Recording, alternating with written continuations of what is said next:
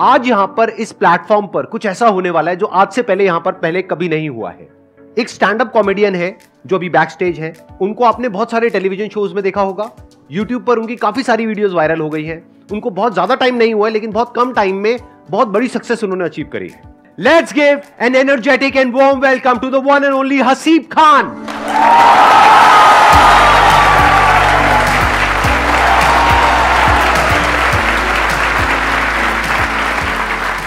तो आज का दिन हसीब आपका है यहाँ पर। आप अपना परफॉर्म करिए, जो भी आप करना चाहते हैं, मैं वहाँ पर ऑडियंस में बैठूँगा। उसके बाद में हम लोग यहाँ पर बैठेंगे और डिस्कशन करेंगे कि ये जो आप करते हो, किस तरीके से करते हो? क्योंकि एक बहुत बड़ी आर्ट है। ये हर एक में नहीं होती है क्वालिटी अब ये स्टेज आपका है.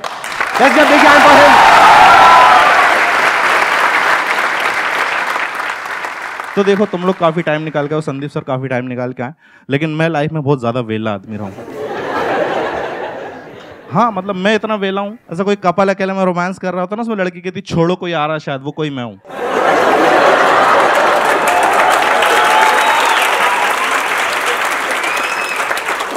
तुमने कहावत सुनी, जंगल में मोर नाचा किसने देखा? कितने लोग मिडिल क्लास फैमिली बैकग्राउंड से अच्छी बात है, तुम लोगों को पता है that you are from middle class दिक्कत उनके साथ आती है जिनको नहीं पता होता। हाँ यार, बहुत से लोगों को नहीं, जैसे मेरे को मेरा खानदान समझ में नहीं आ रहा। कि ये कौन लोग हैं जो भूखे भी नहीं मर रहे और स्प्लेंडर भी नहीं खरीद पा रहे हैं?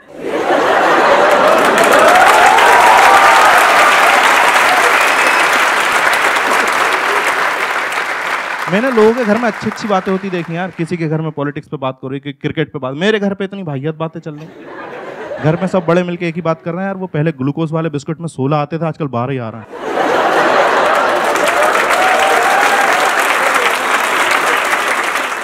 और पता है लॉजिक के जब सोलह बिस्किट आते थे तो उसमें हम आठ लोग थे घर में उसे दो दो बांट के खाते थे।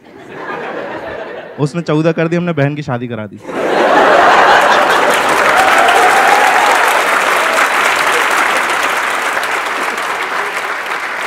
तो उसने बारह करे, हमने भाई को दुबई भेजा काम करने। एक दिन अफवर्ड गई कहला दस होने वाले फिर दादी की दवाइयाँ छुपाई।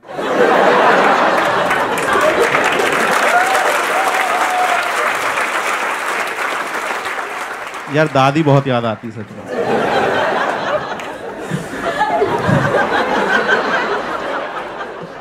अच्छा देखो, तुम्हारी फैमिली जिस तरीके की होती है ना मैं देखा, रिश्तेदार भी उसी तरीके के होते हैं। हाँ वो उनके कैरेक्टर मेरा एक रिश्तेदार ऐसा वो कभी फ़ोन नहीं करेगा। उसका फ़ोन तभी आता है जब उसे किसी की मौत की खबर देनी होती है। उसको इसी चीज़ में मज़ा आ रहा है यार। उससे पहले कोई खबर दे जाओ, उसे बुरा लग जाता और इतनी जानकारी इकट्ठी करके फ़ोन कर रहा है, सामने वाला रो रहा है, कह दो कि झूठे कराए नहीं, लाश सामने पड़ी। इसकी कोई टाइम नहीं यार। दिन रात को तीन बजे कॉल कर दिया, उठाने से मैं डर गया, मैंने अपने घर के गिने। मेरा भाई नहीं था, मैं चिल्लाने लगा यार। वो बाथरूम से बिना धोए भाग के आया।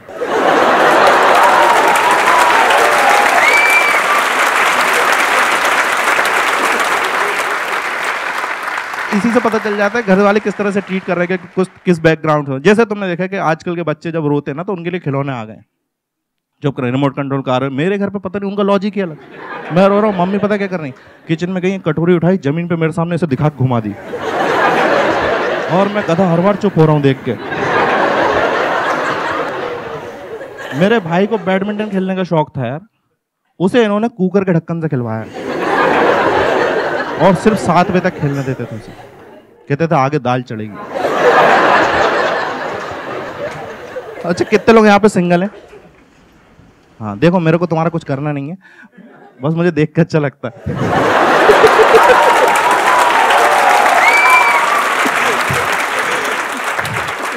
क्या मैं कुछ लोगों से तो आगे हूँ? वैसे ऐसा नहीं, अगर तुम लोग सिंगल मैं तुम्हें थोड़ा सा मोटिवेट करना चाहूँगा। Have a close look at my face और 2014 में मेरी भी बंदी थी।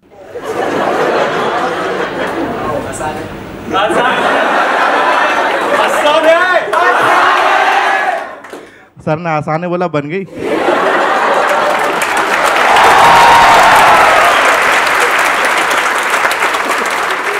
वो तब बनी थी। और पता है कि वो बंदी बनती ना, और कई बार क्या होता है, जब से मार्केट में निकलता ना एज ए कपल तो कुछ कपल लोगों को ही नहीं आते। मेरा दोस्त है वो अपनी बंदी के साथ ऐसे, उसका वेट है हंड्रेड एंड ट्वेंटी के जी। उसने बंदी बना रखी थर्टी फाइव के जी की। और मेरे को जलाने के लिए गोद में उसको बिठा के फ़ोटो खिंचा के दिखाता कैसे लग रहा है। मैंने कहा e to the power x लग रहे हो।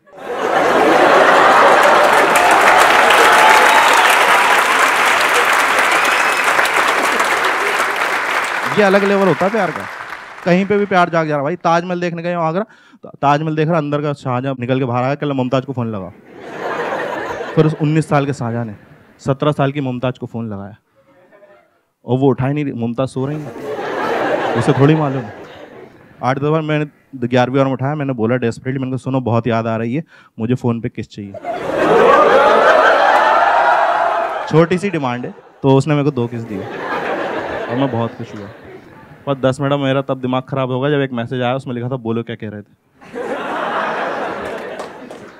उस दिन मेरे को दो बातें पता चली। पहली है कि इसकी मम्मी की और इसकी आवाज़ सेम है।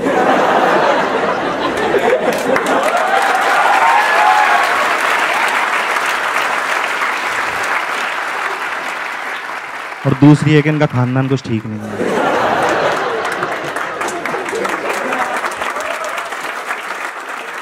अच्छा तुम जितने भी सिंगल लोग हो ना, तुम देखना कभी ऐसे तुम्हारी लाइफ में फीमेल इंटरेक्शन कम होता है ना तुम्हारे दोस्त हेल्प करने के लिए आते हैं।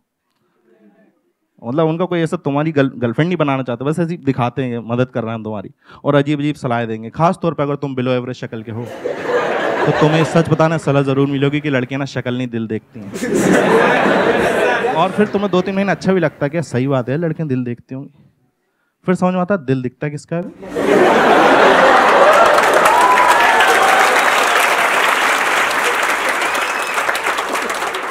यार heart is an organ which is inside your body it's not like कि तुम कहीं खड़े हो दो तीन लड़कियाँ आ रही तुमको गधा समझ रही हैं सब देख के तुम्हारे हार्ट को बुरा लगेगा और बाहर आ जाएगा hi chicks look at me I am a very nice heart नहीं होता भाई ऐसा, और हार्ट इतनी अच्छी चीज़ है उसे अंदर क्यों रखा हुआ है? कहते हैं, अस्सी परसेंट लोगों का दिल अच्छा होता है, उसे बाहर निकालो ना इन्हीं अस्सी परसेंट लोगों की शक्ल खराब अंदर डालो उसे। और मैं दिल की बात कर रहा हूँ, तुम सब गधे ये वाला शेप सोच रहे होगे। क्या है भाई? ये हार्ट का शेप होता ही नहीं है। रियल हार्ट का शेप सोच लो तो प्यार नहीं आता अंदर से। इतना घटिया लगता है ना वो। वो लगता शादी में लगे जनरेटर की तरह।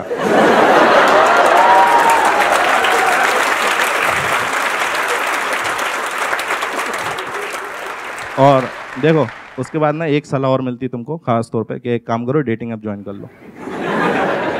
ये और मैंने देखा इतना सिंगल लड़के, कहीं कोई जमाने में इज़्ज़त नहीं मिल रही डेटिंग ऐप पर आती औकात जाएँगे भूल। तो फ़िल्टर डालते थे लड़की चाहिए अठारह से बाईस साल फिर तो कोई मैच नहीं आता ना धीरे धीरे औकात पे वापस आते हैं। एक काम करो, पच्चीस की भी देख। फिर जब भी कोई बंदा हैवानियत पर जाता है, कहता चालीस की भी देख।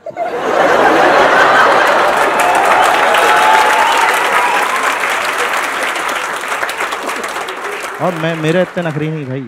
मैं डेटिंग पे सीधा से लिखता हूँ लड़की चाहिए वो भी ज़िंदा।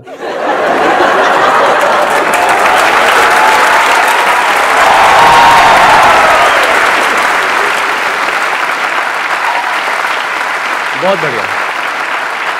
अब यहाँ पर हम सोफा वगैरह लगा देते हैं। माइक आप दे दीजिए। प्लीज़ हैव अ सीट बैठिए। तो अब मैं आप लोगों को बताता हूँ कि आज के इस सेशन में अब हम क्या करने वाले हैं। अभी आपने इनको लाइव परफॉर्म करते हुए देखा। कितने लोगों को मज़ा आया? ऑनेस्टली कितने लोगों को बहुत मज़ा आया। मैंने जब कॉमेडी शुरू करी थी ना तो मैंने क्या वैसे संदीप सर का बहुत हाथ रहा काफ़ी चीज़ों में। जैसे इनके वीडियो देख के एक बार मैंने बी छोड़ दी। एक मिनट एक मिनट। क्या क्या छोड़ दी? इंजीनियरिंग को बी बोलते हैं हम लोग। अच्छा बी ओके मेरे को लगा कह रहा बीड़ी छोड़ दी। हाँ तो मैंने क्या इंजीनियरिंग छोड़ दी। और मैंने वो कोर्स पढ़ लिए थे कि आप सक्सेसफुल हो जाते हो ड्रॉप आउट हो तो। मेरे दोस्तों ने बताया फ़र्स्ट ईयर में नहीं छोड़ते।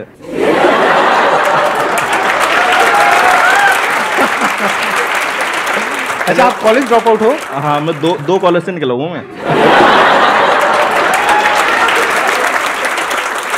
मैं फ़र्स्ट निकला था ना फ़र्स्ट कॉलेज से तो मैं इसलिए निकला मेरे को कोई गवर्नमेंट कॉलेज लेंगे।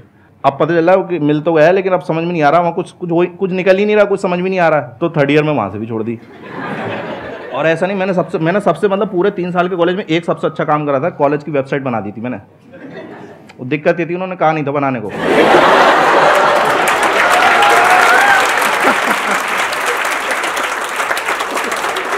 वो बदतमीजी को कराए करे ये क्या तरीका है? डायरेक्टर की फ़ोटो की जगह तुम्हारी फ़ोटो क्यों है? ये क्या डायरेक्टर मैसेज में वाहियत बातें लिखी हुई है don't study too hard just fall for rich girls and money will come from their fathers bank account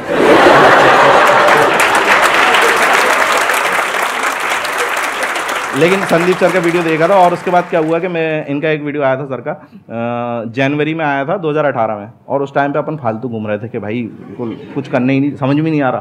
तो सर ने उसमें ये बात कही थी कि आप ना, उसे उलझे हुए रहते हो लाइफ में तो आप इसे पाँच छः दिन का ब्रेक लो और कहीं पर वो पहाड़ों पे चले जाओ कहीं टेरेस पे चले जाओ। या कहीं पे ऐसा सोचो तो कि और वहाँ से क्या होता है? फिर उन्होंने कहा था कि आप आप देखते हो ना तो बाकी की दुनिया बहुत छोटी लगती है आपकी प्रॉब्लम फिर ऐसा लगता है इतनी बड़ी भी नहीं है प्रॉब्लम मेरी। तो मैंने वही करा, हमारे इधर वो पहाड़ में चला जाता था। अब मैं सोच रहा हूँ, मेरे को करना क्या है? अब वहाँ पे क्या, वो जगह सही नहीं थी थोड़ी। वहाँ कपल्स आते थे, उनके ये अकेले को बैठा हुआ है।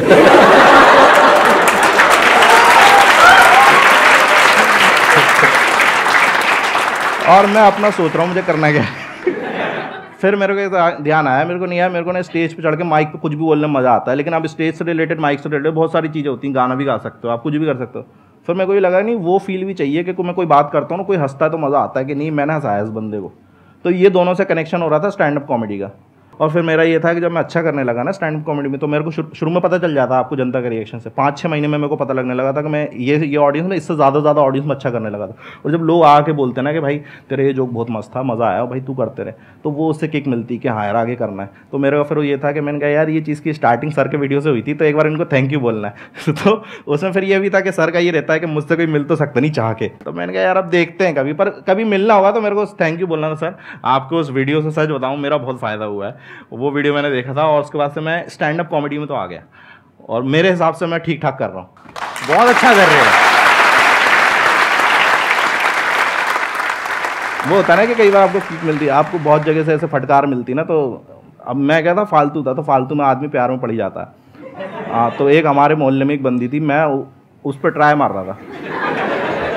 तो उसने भाई साहब रिजेक्ट कर दिया और उसने ये बोल दिया कि यार तुम्हारे में और मेरे में ना सर ज़मीन आसमान का फ़र्क है, ऐसा बोल के रिजेक्ट कर दिया। तो मैंने फिर एक वो वो मिला, गुस्सा आया और प्लस सर का वीडियो देखा।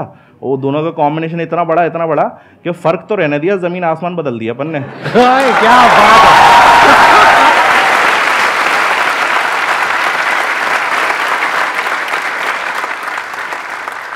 सर, मेरा क्वेश्चन ये है कि स्टेप्स क्या हैं? स्टैंड अप कॉमेडियन बनने के। ये आपने ना अपना ही कंपटीशन बढ़ा लिया है। हाँ हाँ। अब ये सारे स्टैंड अप कॉमेडियन बनने वाले हैं यहाँ पे। जितने मार्केट में खराब स्टैंड अप कॉमेडियन आएँगे ना उतनी हमारी वैल्यू बढ़ती है।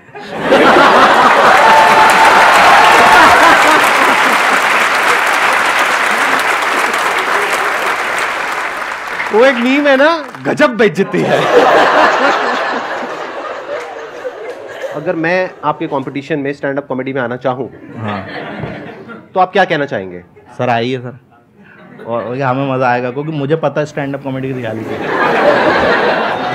और सबसे अच्छा मज़ा पता है तो लोग मेरे जोक्स पे हंसेंगे हाँ। मुझ पे हंसेंगे अगर मैं आ गया तो? मैं बता रहा हूँ सबसे अच्छा है कि स्टैंड अप कॉमेडियन को मज़ा कब आता है? जब दूसरा स्टैंड अप कॉमेडियन खराब करता है। भाई क्या हँसी आती है। उसके उसके चेहरे पे मौत फैली हुई है कि कोई हंस नहीं रहा और हमें लगा रहा है, ये देखो, अब आएगा मज़ा और इतने खुश मतलब कोई कॉमेडियन अगर उसको हम लोग बॉम्ब होना कहते हैं, अगर उसके जोक्स नहीं चल रहा है तो कोई बंदा बॉम्ब हो रहा है ना तो उससे ज़्यादा मज़ा कहीं नहीं है। देखो, सबसे पहले तो ये कि आपने स्टैंड अप कॉमेडी करनी है तो सबसे पहले तो अपना काम धंधा नहीं छोड़ना है आपको। कि ये नहीं कि मैंने आज ही छोड़ना जो कर रहा हूँ मैं। मैं, ये था कि मैं जब कॉमेडी करता था ना तो कॉमेडी से एकदम से पैसा नहीं आता। अगर आप फॉर एग्ज़ाम्पल उसके हिसाब सोच रहे हो, उसको करियर बनाने के उससे तो उससे एकदम से पैसा नहीं आता। और स्टैंड अप कॉमेडी में पैसा लगता बहुत है शुरू में। कि भाई आपको ट्रैवल करना जैसे आपको फॉर एग्जांपल ओपन माइक करना है। आपने पाँच मिनट लिखे। अब आपको ट्राई करने जाना है कहीं पे कि भाई मेरे को पता तो चलेंगे मुझे ही फनी लग रहा है सबको भी फनी लग रहा है। पता चला तुम्हें फनी लग रहा है स्टेज पे गए और वहाँ पे कोई हँसी नहीं रहा। अब आप वहाँ जाओगे भाई आपका ट्रैवल का भी लगेगा। ठीक है? तो एक ओपन माइक तो करना नहीं है। और मैं बता रहा हूँ मैंने डेढ़ सौ दो सौ करें यहाँ पे लोग पाँच पाँच सौ कर लेते हैं एक साल में। इतना है दिल्ली में, और करने ही पड़ते हैं मतलब उसके अलावा कोई ऑप्शन ही नहीं है। तो मैंने चार साल में फॉर एग्ज़ाम्पल ये मान के चलो, अपने स्टैंड अप कॉमेडी में, जब तक मैंने अपना वीडियो रिलीज़ नहीं करा था, मैंने साढ़े तीन से चार लाख रुपए खुद से लगा दिए थे उस शॉप से कमा कमा के। हाँ ये बात अलग है, जब वो वीडियो आया था, इतना चला कि वो उसने एक महीने में कवरअप कर दिया उसका। लेकिन, आपको शुरू में लगाने पड़ेंगे तो कभी भी उसमें मत जाना कि यार, बहुत मज़ेदार आर्ट फॉर्म होती है।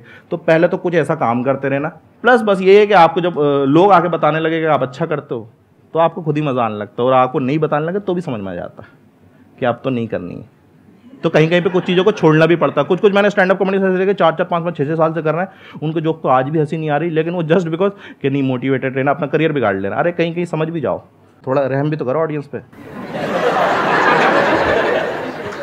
मेरे से एक बंदा बहुत पूछता था कि भाई कॉमेडी करनी मैं उसको समझा रहा हूँ और वो समझ ही नहीं रहा। मैं कह रहा हूँ, ऐसा ऐसा कर ले। कह रहे, ये तो पता है मेरे को। आप तो ये बताओ, फिर दूसरा ये तो पता और वो छः तीन महीना उसको ऐसा समझाया ना कि वो कॉमेडी छोड़ के केक बनाता है आजकल।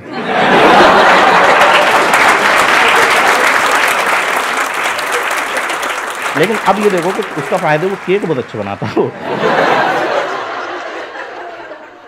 ये जो आर्ट है ना, ये एक पूरा का पूरा इसका एक प्रोसेस होता है। वो दिखता नहीं है आप लोगों को। आप लोगों को लगता है कि मतलब स्टैंड अप कॉमेडी मतलब जैसे हम ग्रुप में बैठे हैं और हंसा रहे हैं, वो एक अलग चीज़ है और यहाँ पे स्टेज पे आकर के परफॉर्म करना वो एक अलग चीज़ है।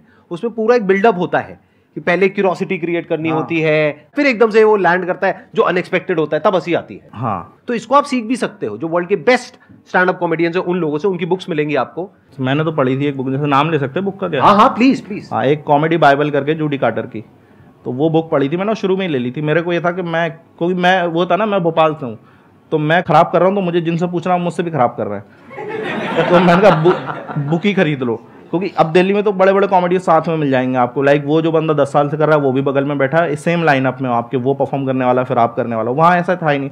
तो मैंने बुक खरीदी तो मेरे जो शुरू के सवाल थे ना, बहुत होते हैं स्टैंड अप उनको लगता है, यार, फट से मिल जाए चीज़। क्योंकि है इतनी वो अट्रैक्टिंग इतनी है कि भाई फट से मिल जाए। तो उनके सवाल इतने होते हैं तो मैंने जब वो बुक पढ़ी ना, मेरे बहुत से मन के सवाल तो वहीं सॉल्व हो गए थे। और एक टाइम के बाद बुक छोड़नी भी पड़ती है। कि नहीं बुक जैसे संदीप सर बोलते हैं ना, मेरे वीडियो देखो और एक टाइम के छोड़ भी दो।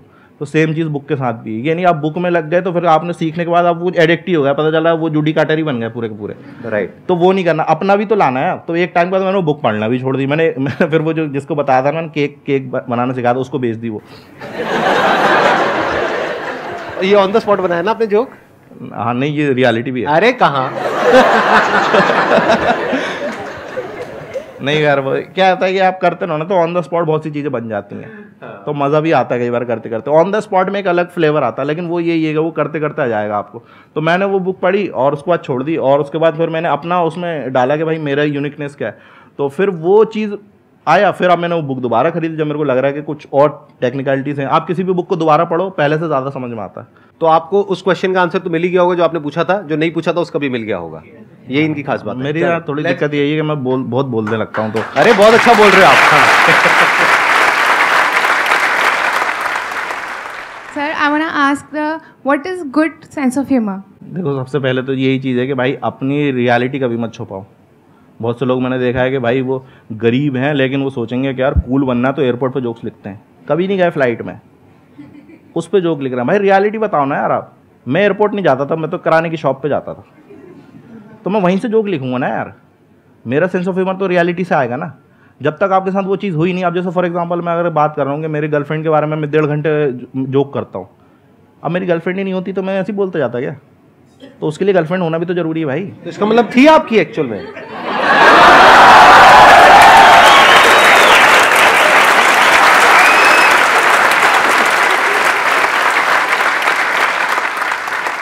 कहाँ थे अपन? हाँ तो वो वही हाँ हाँ। तो जो उसके साथ हरकत हुई ना, अब उसके साथ जैसे घूम रहा हो बंदी के साथ ऐसे ही होता आप घूमने जा रहे हो तो अजीब अजीब हरकत। अब क्योंकि मेरे साथ वही है।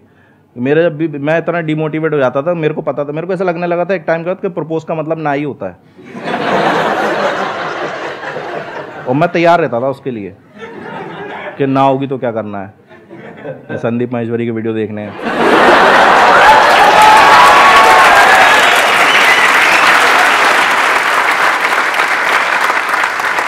तो जब वो चीज़ें हुई ना वो सारी मैंने शो में डाल दी कि बिल्कुल रियलिटी अब वो भी देख के ऐसे गुस्सा कर रही होती है। मेरे साथ यही है मेरे पर मेरे साथ कोई भी चीट वीट करता ना मैं उस पर जोक लिख देता हूँ। ओ भाई साहब मुझे बस ही देना।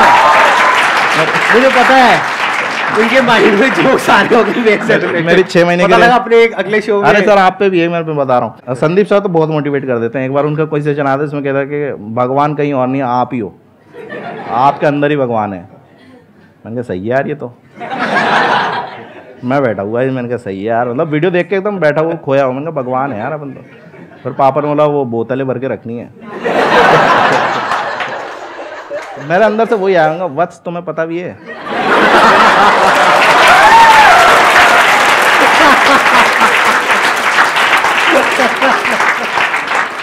कि तुम किससे बातें कर रहे हो? उस दिन मुझे पता चला जो बड़ा वाला लट होता है ना वो एड़ी पे बहुत ज़ोर का लगता है।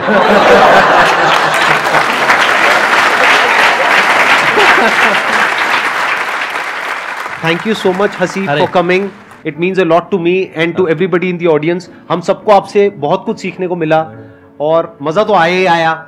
मज़ा आया नहीं आया? Yes or no? yes, तो आगे भी ऐसे ही मज़ा आता रहेगा। अलग अलग गेस्ट आएँगे यहाँ पर। मेरे को ऐसे मिल के थैंक यू बोलना था मेरे को ये नहीं पता था मैं गेस्ट ही आ जाऊँगा तो मेरे को बहुत अच्छा लग रहा है। Thank you so much